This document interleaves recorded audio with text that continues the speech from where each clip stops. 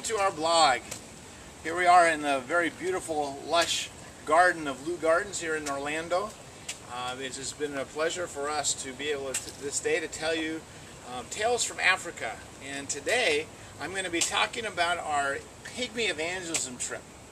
It was an exciting time in the year of 1992 uh, the Christmas of 1992, we were able to, we heard that the Pygmies were available uh, close at hand, that we could maybe reach them with the gospel. And uh, the Pygmies are a very nomadic people. They travel in, uh, in, in, their tribes in, into the jungle. They are, they are elephant hunters, and so they follow the elephant herds throughout the central, very central part of the Congo. And uh, and so they, they travel a lot and, and, and, and it's very rare, it's very hard to, to reach them with the gospel. But we had heard one of our churches that were on the right on the river, uh, on the Congo River, they had heard that the, the, the pygmies had come out to trade with them.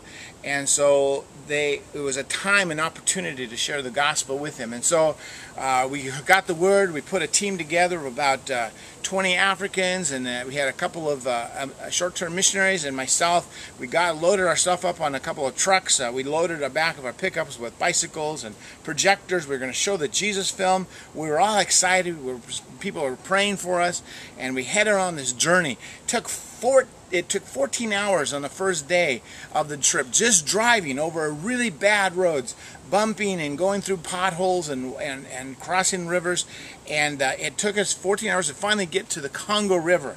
And at the Congo River we have the town of Bumba we have a church there. And so that night we showed the Jesus film to the church. But then we went to sleep. And the next morning we got up really early in the morning. And we loaded up two dugout canoes. We put all our stuff in it, all the paraphernalia, the bicycles and all that, and the people got in and we started rowing up river. Eight hours paddling up river. The missionaries, we got our paddles, we got courtesy paddles. That basically means that the Africans were doing the work and we, we missionaries just had the paddle to, just to paddle when we felt like it. And so we would paddle along, get a little exercise, get a little tired, we set it down and we just chit chat and talk. And anyway, we paddled up the river for eight hours we paddled. Finally got to the across the river. We got got to the beachhead across the river, and we got out, put our bicycles out, and then the rest of the, the, the, Africans got stayed in the canoes, and they went up river a little bit and took a tributary up to this one village where we were going to meet them. And we rode on our bicycles, and we we got on our bicycles and we pedaled and pedaled, pedaled. This is the second day, and we finally got uh, after about four hour, four to five hours of pedaling we finally got to that village where we were expecting to see the canoes and those people that got men in the canoes, but they never showed up. A tree had fallen across the little tributary river and they got stuck overnight and they had to sleep in the dugout canoes with all of our stuff. But we camped out. We didn't have it. We just all had our bicycles, and so we opened some, you know, opened up. We lay, basically laid on the ground, and, and, we had a very cold night, and uh, and and uh, we ate some just some some monkey meat of the village. And then the next morning, we woke up in the morning. The canoe still hadn't come, but they had gotten word that they were making it upriver. But they wanted us to go into the jungle, head down the trail into the jungle on the jungle on the third day. Now this part we left the bikes behind. This was just a jungle path, just a little little bit of a trail into the jungle.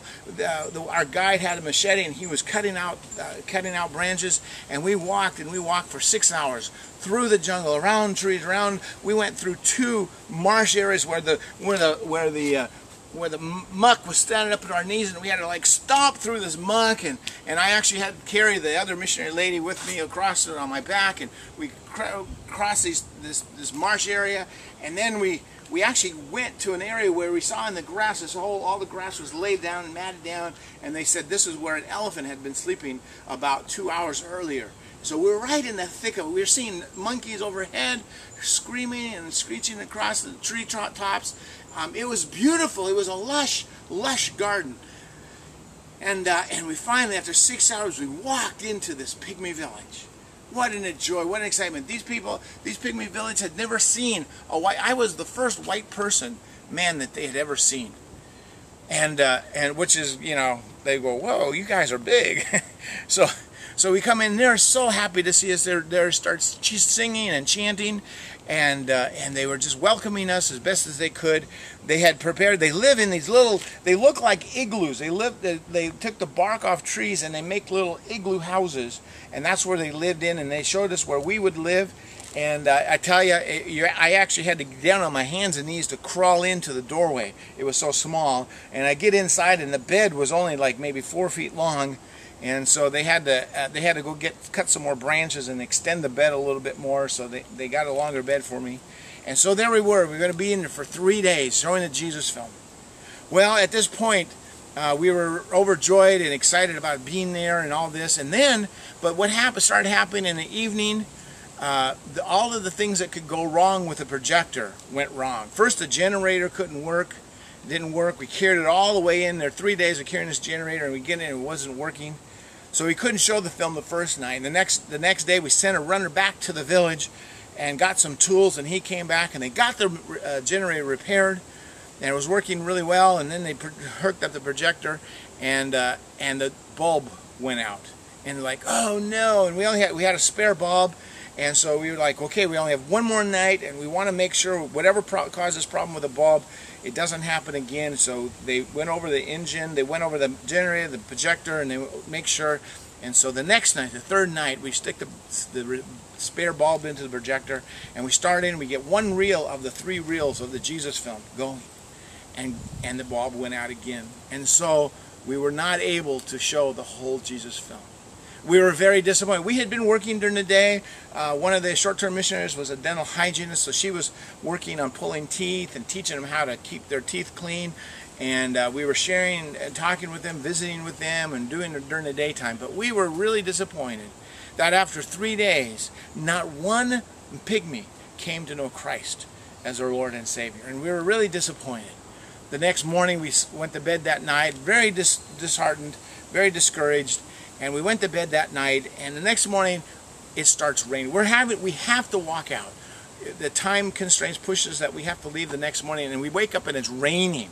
We're gonna have to be walking out through the jungle with all our stuff laden down in in the rain. And so we were really disappointed with I mean with the whole event of the trip, and then the dis disappointing walking out in the rain and and we are just it was just downcast. Everybody was just disappointed. And uh, and so we were out there and the pastor that was kind of leading the whole expedition he he comes up to me and says tim you know would you come out and just say a farewell to the pygmies? Tell them that we want to come back. We want to be able to come back and share the film with them and as i got out to walk to talk, to this pygmy village i had to stand under a big huge banana leaf just just a, like an umbrella to keep me dry a little bit and I just prayed. I said, Lord, could you just give me a story, something that will somehow convey the love that you have for these pygmy village that are out in the jungle, that you have not forgotten them, that you care for them.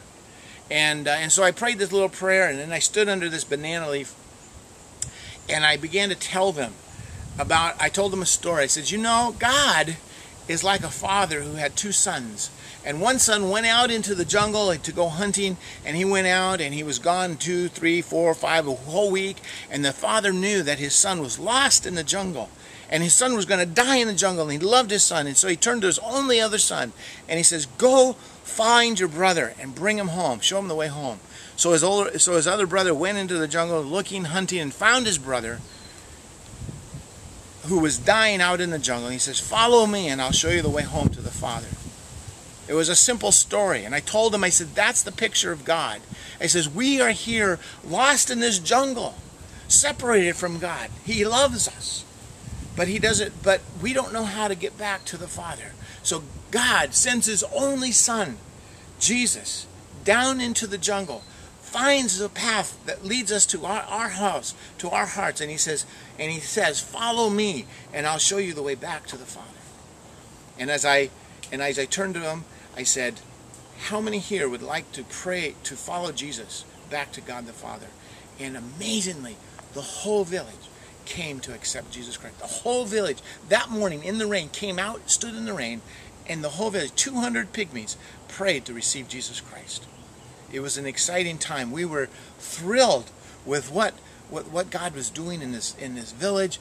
I mean, we, it, it didn't matter the rain, care less. I don't even remember the story coming back. There wasn't anything eventful in the fact of going back when I when we remembered and rejoiced with this pygmy village coming to know Christ. We left a team of the Africans there to guide them, to disciple them, to, to establish them as a as a congregation, as, a, as as followers of Jesus Christ. And we went on and we returned and that was it was so exciting to see the end of that to see that that come to, to fruition. We attempted with our efforts but god in his just love and, and a simple little story conveyed the love that jesus had for them and god had for them and that the whole village came to know christ. The conclusion and the exciting part of this story is that even after this even like 10 years later 10 years later the church is established. They have sent two of the pygmy village from that village, pygmy men from that village, to go to Bible school, to become pastors. And so now they have a congregation, they have a pygmy pastors, that they still are nomadic. They still travel in the jungle, they still hunt the elephants. But they go as a body of believers, a body of Christ. And, and it's exciting to see that, that even now the church is expanding.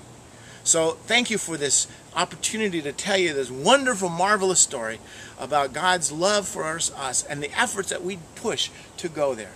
I would ask that you continue to pray for us as we serve Jesus Christ, our Lord, in Congo. Thank you.